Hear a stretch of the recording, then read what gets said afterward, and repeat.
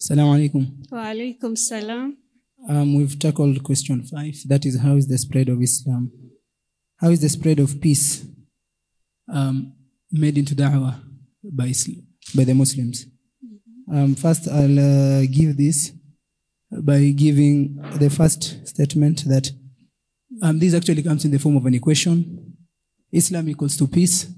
So we need to prove that uh, through some points. Um, by superposition, the Sorry. first thing is that Islam um, perpetuates peace in all of its agenda, in all of its entirety. The second thing is that um, for us to live in harmony, we need to be at peace. For anything to happen, for development to happen, for economic integration to happen, there must be peace. So having peace as part of the da'wah is a very important thing because it's actually one of the things that entails the meaning of Islam. The other thing is that um, as part of Islam, it emphasizes on people living in harmony, people living together, people living in a way that has been prescribed by the Prophet Muhammad sallallahu alaihi wasallam, and that is um, as it has been referred to us during the times of the Khalifas. Peace was actually one of the things that was really emphasized, even during the time of the Khalifas actually having problems. Uh, for example, the time of Muawiyah and Ali radiallahu anha.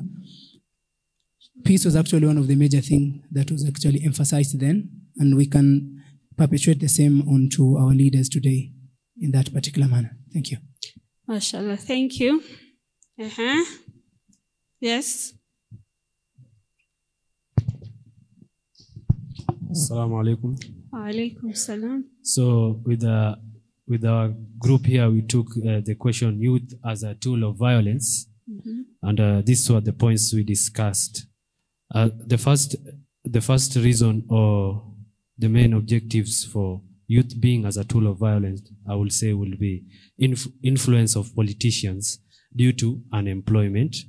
Uh, youths out here are unemployed, so when it reaches the after before and after the elections, you find that uh, they are being they are being uh, they are being manipulated with money, or they are being brought as a crowd to burn the streets and protest for a given politician to move his regime to the court or make that person a winner uh, in the eyes of the citizen or IEBC. Uh, the second point uh, we'll talk about will be drug addiction. Uh, many youths out here have been drug addicts, alcoholic, for example. So when youths are out here and they are drug addicts, at the end of the day, they are so aggressive and uh, they are very energetic, active. Their cells are very active to any activity. So it's always easier to advise this sort of people.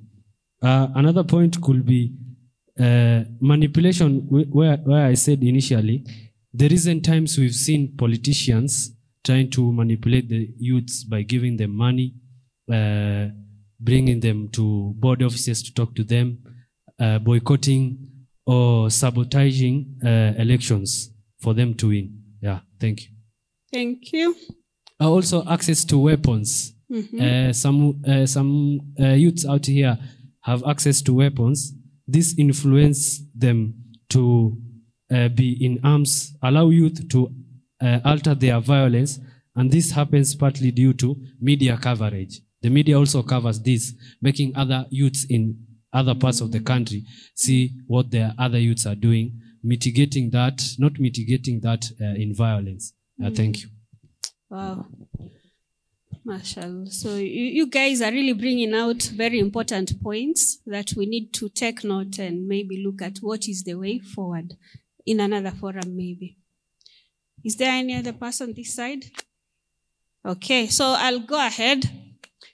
If uh, by the time I'm through, the, we have more time or not, maybe we might be able to take more opinions. But uh, this is something that I wanted us to discuss because it is the core of today's topic. It is the core of today's topic because we are in the electioneering period and it is full of what? there's a lot that is happening. If we go down memory lane and some facts about our election, electioneering behaviors, you find that youth are easily mobilized, as you've said. They can be alienated from uh, other people. They can be actually also disengaged from involving themselves in doing what is right. So that's why you find you as youth, plus what you've also given the unemployment, the drugs, and everything, you find that that is a fact, and it is an, a very important fact that you need to take note of. Half of the Kenyan electorate are between 18 to 35 years. So you are the ones that are being targeted by politicians. Of course, if I want you to vote for me, I'm going to do what? I'll, I'll, I'll want you to talk against my opponent, right? So you are the ones who are half of the youth are the elect, are actually the people who vote. And then 70% of those people who en- have been engaged in post-election violence are youth. That's why youth come in as a very important group when it comes to peace and spreading of peace. Then in the 2000 and 2008 post-election violence, the effects of those is that we had 1,133 people who died. We also had 650,000 people who were displaced. We had 3,561 people who were injured, and we had 100,017 who actually uh, property from government and private that were destroyed. That is the impact of lack of peace. So when you look at the impact of lack of peace, then it makes you do what? Inakufanya utake kuona the other side because the effect itatupata. So you've talked about a number of things in relation to peace. So the effects of violence will find us wherever we are. Okay? Because kama saa ile nyinyi mko huko nje munapigana ama nini, si nyinyi ndio mtaumia si ndio nyinyi ndio mtakosa kukuja shule maybe uh, campus itafungwa one semester waliadh billahi min dhalik na ulikuwa unataka umalize labda kuna job ulikuwa ushakuwa promised. Si ndio? So you find it is still the same youth that will be affected for nan, for the violence. There are things that happen when there is violence. Kuna vitu kama tunaita sexual and gender based violence. Si ndio? We have sisters we have mothers we have neighbors aunties and all that. Yeah? So these are the vulnerable people who are usually targeted in times of violence okay? So this behavior the, the violent behavior mtu anazaliwa nayo? Apart from isa alaihi salam ushaona mtoto amezaliwa akaanza kuongea? Kuna mtoto ameamka aka, akaanza kurusha mawe? So it means we learn. It means we do what? We learn and that is why i wanted to connect peace and behavior as being a learned phenomenon okay um, i'm not uh, someone who is well versed in deen but i know there is a hadith that says that all of us have been born under fitra right then we learn what we learn from who? Our parents, our environment. So in psychology, we say the issues that uh, influence someone's behavior are either nature or nurture, right? So there's something you will learn from your parents. Maybe you will pick it up. Maybe the way your parent smiles. Of course, kuna temperaments that you might pick from your, someone will tell you, you, you behave very like your father or like your auntie, yeah? So there are some things that are in your genes. It's hereditary, right? But again, there are some things that you pick from the environment. You, you talked about uh, you come from an environment whereby kila siku watu wanapigana. So kama kila saa watu wanapigana, hata ukienda huko nje mtu akikuchokoza utafanya nini? Utakunja, si utakunja mashati, si ndio? unakunja mashati unaambia mtu nishike nishike ama mtu atamwaga damu si hivyo ndio tulikuwa tunafanya lakini ukienda hapo labda utatandikwa wewe ndio tutakuja tutakubeba si ndio so what you see affects okay? So there's someone in psychology alikuwa anaitwa ivan pavlov. Alikuwa anaitwa nani? Ivan pavlov. You don't have to remember his name. But this person alifanya experiments. Unajua hizi experiments mingi sana zinafanywaga kwanza na animals alafu ndio zinakuja zinajaribiwa kwa human beings. In fact it's unethical kufanya some of these experiments on human beings. Okay so that's why they start with animals. So this guy alichukua a dog okay? So what did he do with this dog? Kawaida saa ile mtu anasikia njaa si an, anakipewa chakula akiona chakula anafurahi labda anaanza kutoka na mate anakula si ndio? So aka, aka, akipa, so hiyo dogi ikipewa cha, ikiona chakula si obviously ita, itasalivate na itataka kukula ile chakula. So what he did akapigapiga aka kengele. He used a bell eh? akapiga kengele ile dog haikusalivate okay? Haikutoa ile mate yani kuonesha iko na hamu ya kukula. Then akaleta chakula. Wakati alikuwa analeta chakula ana, anapiga ile kengele and then analeta chakula okay?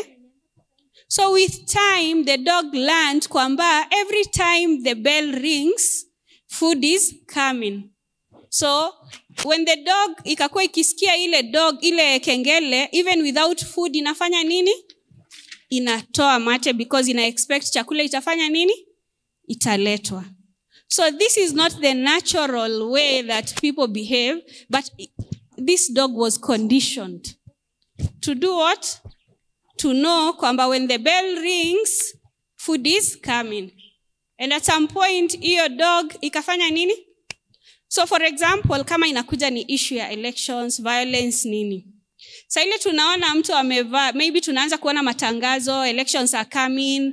What happens? We maybe prepare naturally prepare maybe kama if we are voters we prepare ourselves maybe tunaangalia nilishajisajili kwa kura si ndio? You look at such things. But sasa kwa mfano someone comes and tells you hey usikose you're welcome.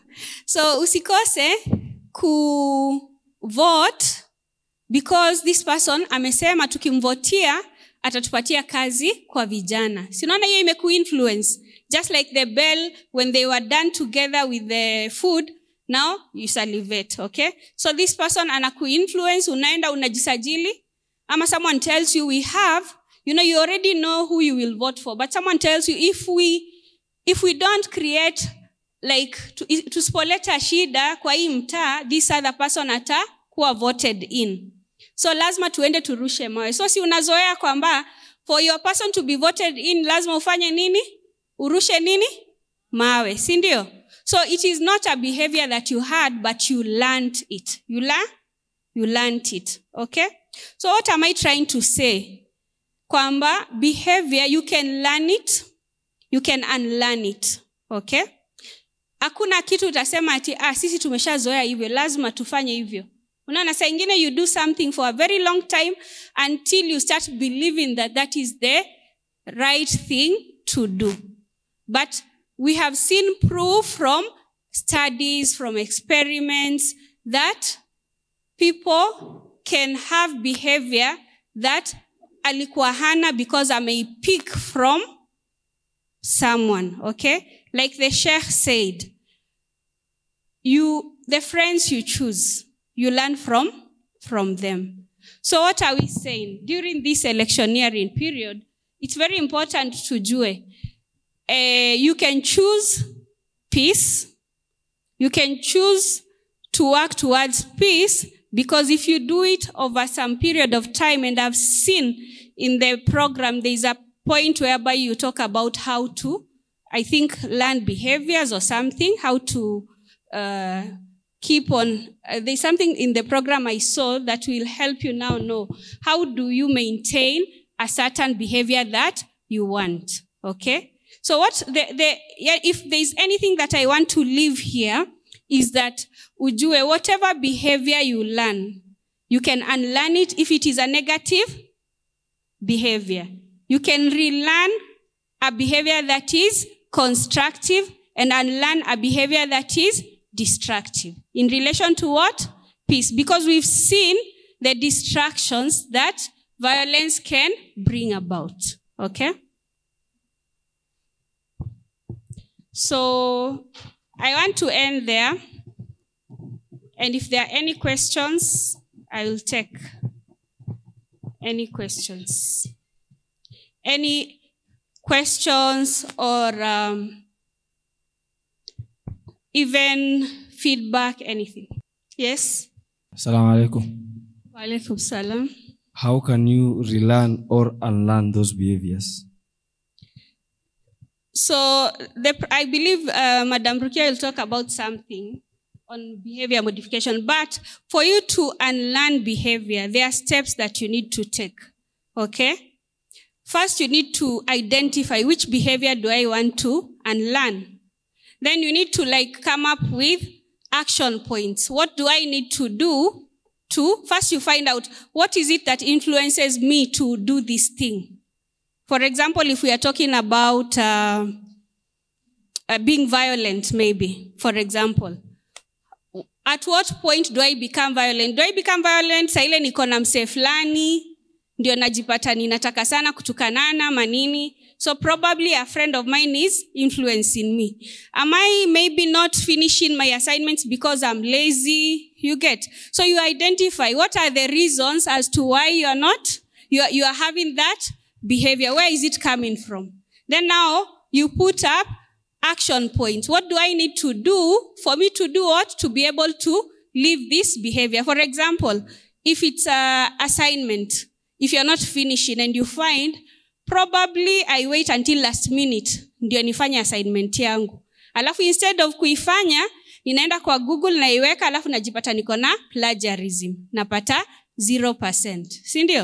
So unajiambia next time I'm, I'm going to try nifanye assignment yangu in good time i can do a draft niachane nayo then i come later i look at maybe start correcting it then eventually nitakuwa. So unajiekea timeline. You have to put for yourself a timeline. If you're putting a, an action plan you have to do what? Ujipatie timeline. By this time i need to do this i need to do this. If it's maybe a friend now you tell yourself okay this friend whenever i'm with this person i find myself behaving in a certain way that i don't like. What do I do? Uh, maybe do I reduce the time I spend with this person? Have I tried to give this person dawa?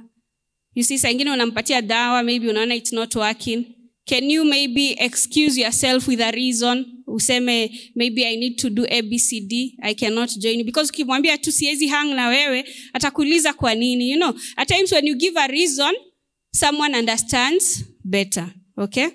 Then while you're modifying your behavior it's very important to understand saa ingine utajaribu na utashindwa. There's something we call relapse when you are modifying your behavior okay? So saa ile unaona unashindwa do not give up. Usi lose hope. It is okay okay? Jaribu tena. Ukianguka unajaribu lin- nini? See we all know the story of hizi bulbs eh? the person who did this. Alifail mara ngapi si alifail mara mob si ndio but he tried so don't give up when you fail to modify your behavior look at maybe people who can encourage you people who can give you support people who can encourage you change whatever you want to change Assalamu alaikum. My name is Kaimenyi. I'm a student here and also a student leader here.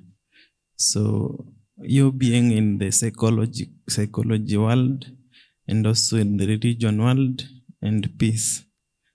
Uh, I have a concern. uh, currently on campus level, we have a number of issues like basically mental health on students.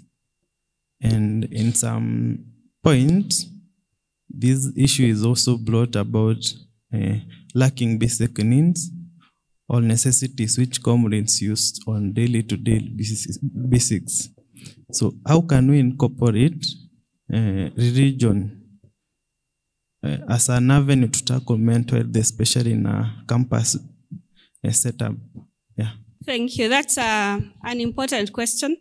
Um, maybe a part of it can be tackled by the sheikhs who come after me, but uh, there's something we call being self-aware and self-acceptance.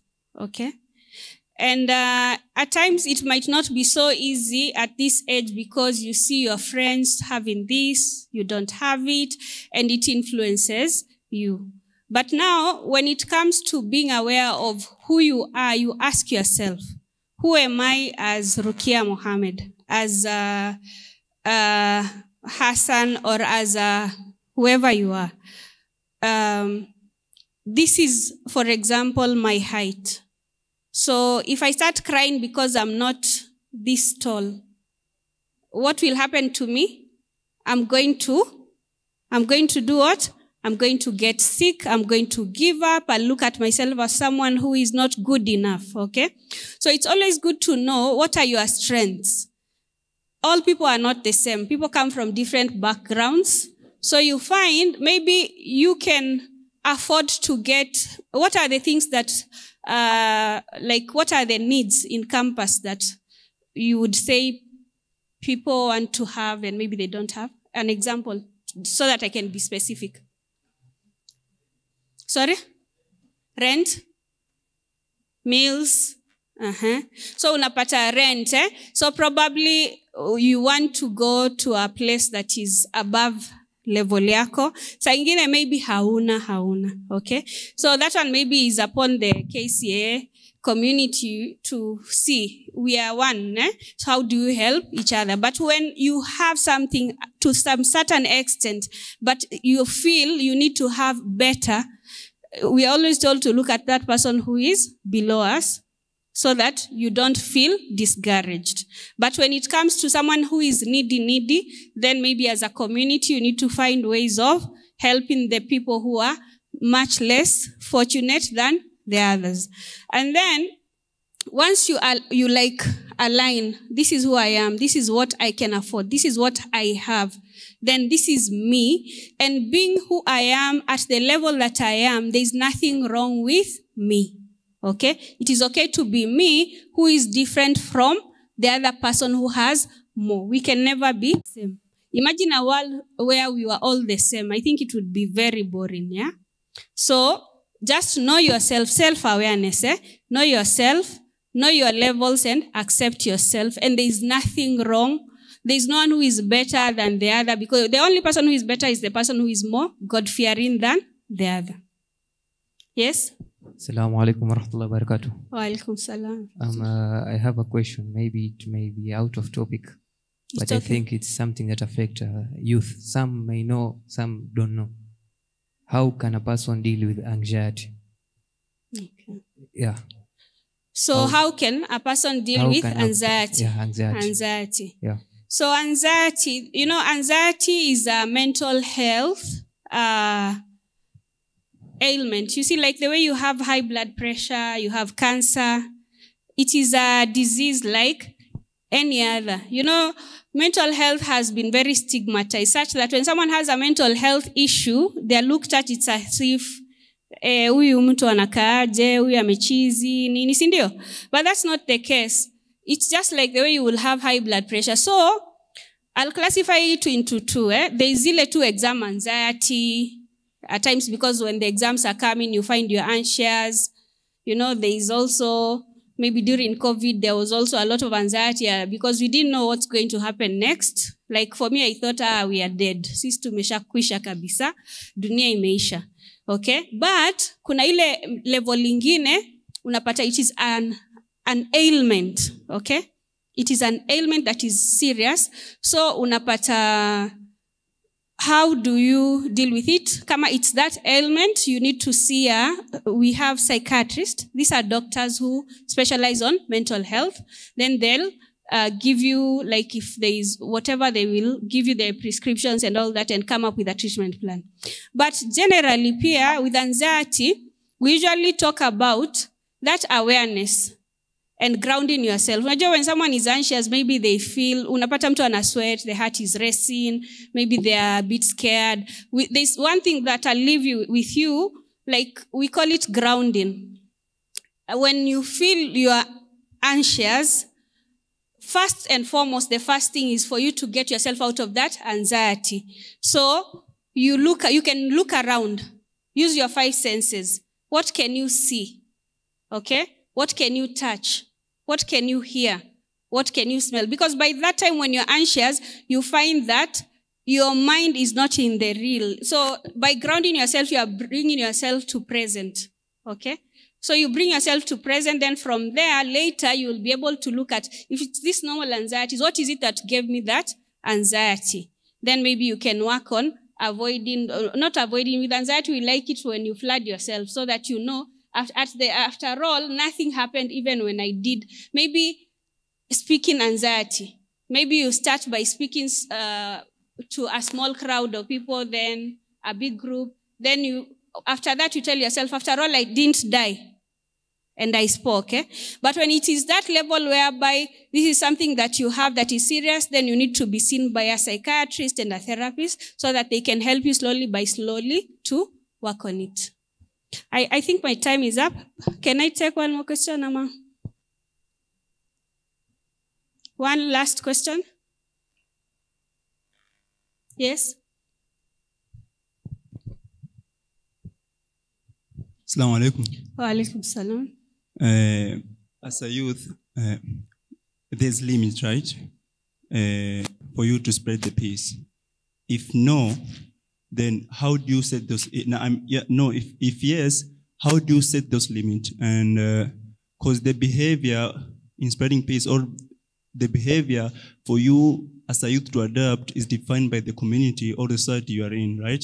Mm-hmm. So now, for example, if there's a limit, then it's fine. You can go and spread the peace. But the limits now, how will you know? Like, for example, sometimes you might you might you might think something is good for you to do or to try to show someone, but the behavior defined by that community, the thing which you're doing, is not good. You see? So how do you know those kinds of limits or those kind of boundaries? Like, uh, where do you draw the line Yeah. in relation to the community and all that? So that's a tough one. You know, we never have all the answers to all questions, but I can look at it from this perspective. Define what is it that you can do as a youth. You have the social media. There's something you can write there that will influence another youth. And um, as Sheikh told us, so long as it's not something that is lying and all that, you can use the social media for dawah, right? Then there's also abstaining when people are maybe talking bad things on social media, wanatukanana and all that. You can abstain. So when it comes to the community, I wish you could be more specific on maybe an issue within the community that maybe you would want to talk about and that community does not want. I don't know if you can, you have a specific example. I'll, I'll, I'll you have, eh?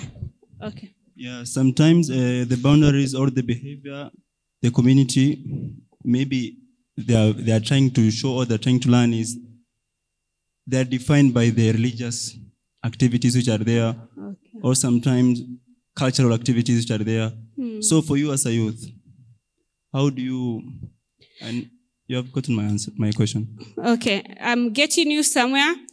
I, I believe there is no community that might want you to spread violence instead of peace. Yeah.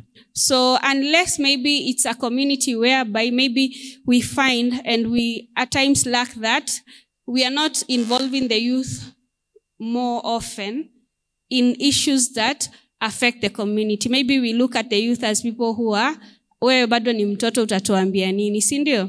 So when it comes to communities like that it's usually good you know like the way sheikh said look at who is the who is the opinion leader in that community. You have something you have a voice that you want to like uh, there's something you want to spread but the community does not allow. So who nani ndio mwenye kusema kwa hiyo community? You go talk to that person. You tell them. Maybe you can go a group of you or and tell them this is what we feel. Then let them hear you. At times when you include people in what you want to do they become more receptive than when unatumia mabavu. Si ukitumia mabavu again it goes to violence right? So when it comes to search unaangalia who are those people we can approach And if it's something that is against your religion, now you make your decision. Okay? But if it is not, and it is just the people in the community, then you just talk to them in a nice way, in a wise way, in a respectable way, and maybe that person is the person who will be your, your actually your voice. Have I answered that partly? 50%. Okay, and also knowing your boundaries. What can you do? What can you do? What can you not do? I think I want to uh, to stop there, and I appreciate you guys for listening and for your involvement. Kabir. Shukran, jazakumullahu khairan.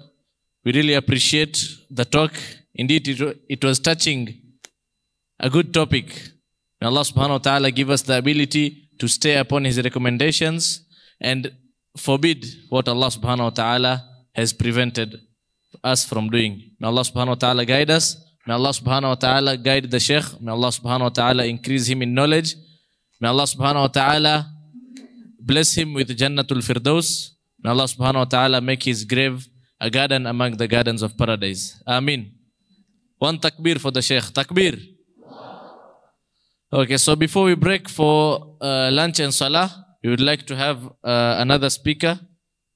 Uh, this is Madam Ruqiyya Isa.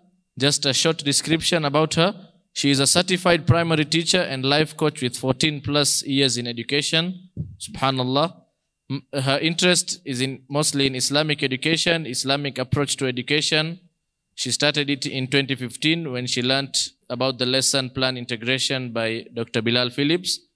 Since then, she has been working in, a, in creating Islamic approach to bring back Islamic moral education in madrasa and Islamic schools.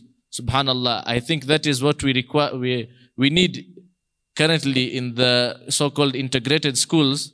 We need to gr- integrate them with more Islamic approach to education. She is currently the principal at Arisala Academy, Nairobi, Kenya, the founder of, of Hopeful Muslim, the teacher, she is a teacher providing online madrasa. She does coaching. She is an author and a consultant. Subhanallah. Those are so many achievements. May Allah subhanahu wa ta'ala add more for her and let us all lend her our ears. Let us listen to her attentively and may we be guided through her. May, her, may she be a source of guidance to us. May we benefit from her. You are welcome. The stage is yours, please. Assalamu alaikum. Uh, how are you all? How are you all? You're fine, Alhamdulillah. So um, I'm Rukia, as you have been given my introduction, but uh, just a disclaimer: I'm not an Islamic scholar in any way. The little I have learned, I have put it in practice, and I'm here to share it with you, inshallah. So I'm not going to take much of your of the of time talking. I believe in engaging with you more than just telling you what to do and how to do it. So I'm really appreciative that uh, Sheikh Anna started a talk that is directly connected to what I'm going to be um, engaging you in, and that is finding your purpose, inshallah. So um, I'm going to start handing over this after we have done a very short exercise, and that is I want you to take a deep breath. And I want you to connect with your, your inner child, the one that you, you know, seven years old, eight years, 10 years. Connect with that child, okay? And I want you to th- connect with him or her and think about what you used to fantasize. What do you, do you use to daydream? When I grow up, I'm going to do this. When I grow up, I'm going to do. Think of those things in your head. Okay? Can we move on now? I can see some of you are smiling. I want you to, to think of the fantasies, the daydreaming that you used to have. When your teacher will throw a pen on your head and say, come back to class, kind of. Or when you're, you're in a, in a function or something and you have some dreams in there. I want you to connect with those. It's very important for this exercise. There is nothing silly about it. You will, you will understand it when I tell you about it. Now I want you to write them down. Write as many as you can, and I'm giving you 30 seconds. Write those dreams of that child, your inner child. Write them down. As many as you can. Don't limit yourself. Please don't limit yourself. Don't think, is this silly or is this good? If you have a phone, you can just list them in your phone. It's okay, wherever you feel comfortable doing that. Ah.